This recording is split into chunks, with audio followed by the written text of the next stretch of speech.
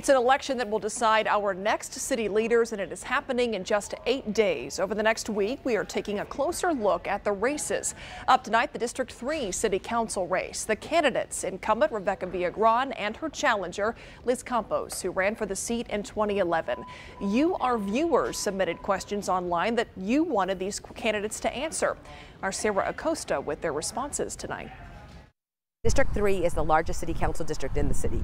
Rebecca Viagran has been representing the Southside District since 2013. The former city council aide is running for her fourth and final term. Her opponent, Liz Campos, was a paralegal for 29 years and currently owns her own business. She ran for the seat in 2011. Our viewers wanted to know what they would do to increase police patrols in the area.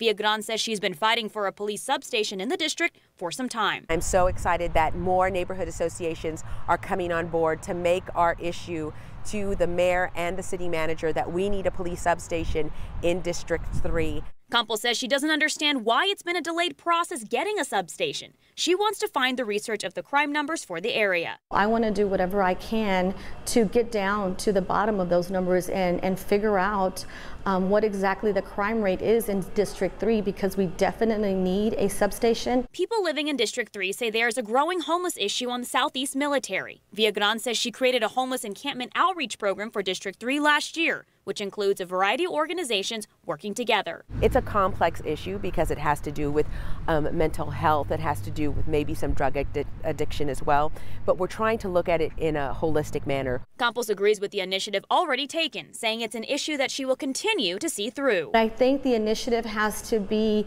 consistent and it has to be effective and it has to be a, a strong uh, initiative to get to get these people, you know, taken care of. All right, Sarah, joining us live now. Your conversation with the candidates didn't end there. So what else did they say they want to focus on if they're elected?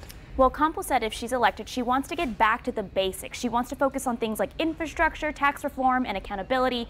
Viagran says one of her biggest priorities is focusing on tax reform, Myra. All right, that election in just eight days. Thanks, Sarah.